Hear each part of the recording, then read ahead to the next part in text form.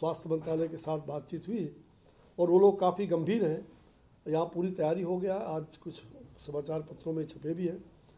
तो वैक्सीन को सबसे पहले कोविड वेरियस जो है, उनको बांटने का केंद्र सरकार ने तय किया है। और जो से इलेक्शन का पोल होता है पोलिंग बूथ वैसे बूथ की रचना हो रही है पूरे देश भर में।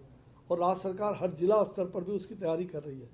कल का जो वृत्त मिला है, बिहार में उसकी तैयारी बहुत बड़े पैमाने पर हो रहा है। उनको जितने संयंत्र चाहिए, उन्होंने प्रस्ताव भेज दिया था और हम लोग ने स्वीकृति करके केंद्र सरकार उसको जल्द ही अगले पंद्रह दिनों से, ये पंद्रह दिन, एक महीने के अंदर हम सारी मशीनें उनको भेज रहे हैं, चाहे वो फ्रीज करने का हो या अन्य प्रकार का स्टोरेज के लिए जितने भी संयंत्र चाहिए अप टू डेट मतलब उसकी सारी तैयारी केंद्र सरकार ने कर लिया है।